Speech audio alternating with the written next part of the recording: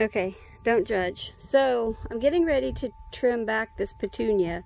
But before I do, I want to stop and show you guys what why the Cool Whip bowl is sitting in the middle of the plant. And I ran and grabbed some scissors because I'm actually going to trim the the weathered dead stuff off. But I'm actually going to harvest some seeds. So if you guys look right here, that's a seed pod.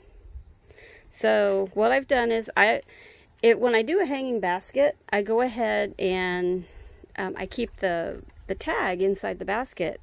So if I love that plant, then I could either snap a picture of it, put it in my notes, or a file folder and say, okay, I definitely want to buy this again, or order it if I can't find it. And so this is a Miracle-Gro plant.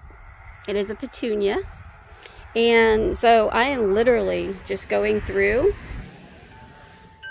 let that car pass, and before I cut this plant back and try to get it to keep growing for a little longer, I'm going to grab all these seed heads off of here.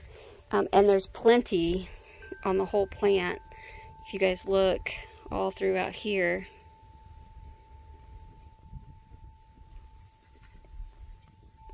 Okay, so there's you know, there's a ton of seed heads. So I'm going to go ahead and harvest these. Then what I'm going to do is I'm going to go ahead and for now I'm just going to keep the tag in. I'll clean that off so you guys can see what this is. I'm going to keep this in the bowl for right now, but I'm just going to go grab a marker right on the lid of this Cool Whip bowl that I kept. And then that way um, I can just go ahead and put the tag back into the plant if I needed to, really, because it's already the middle of September. Um, this will keep growing for about another month as long as the weather allows. And so cutting it back, and it's already been cut back a couple times, but so we were really busy a couple weekends ago. We weren't home every day until late at night. Um, and we were actually gone literally all day. We had taken the dog with us, and so um, she suffered a little. But look how beautiful this thing is. So I'm going to go ahead and just end this video. I know it's a quick one, but I wanted to show you guys. Um, so what happens is, and I'll show you guys real quick. So do you see the spent bloom? Once that bloom dries out, most of us will come and just deadhead the plant. And here's a good example of that. Before they get to this point, we'll go ahead and just pull the blooms, right? And we'll just toss them down.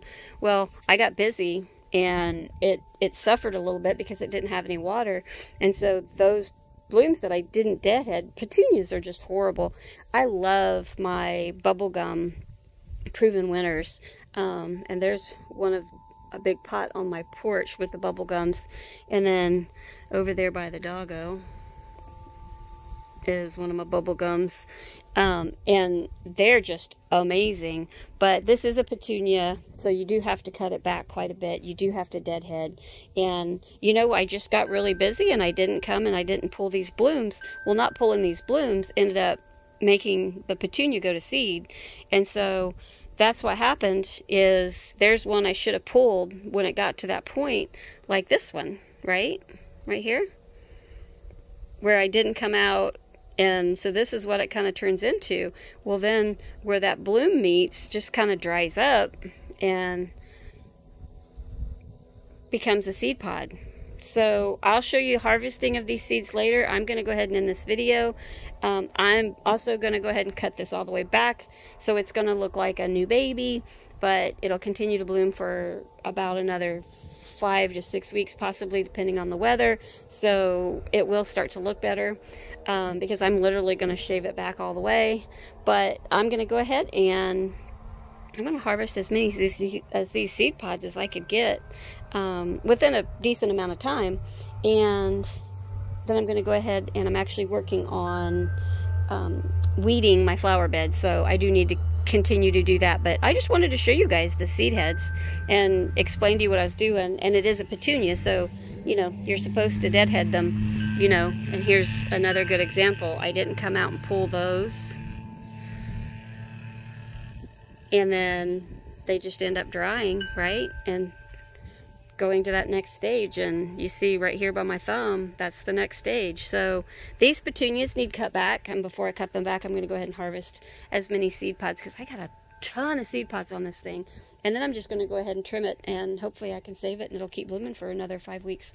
Um, hey have a good one. Talk to you guys soon and I hope this helps. Look how pretty. Okay talk to you guys soon. Bye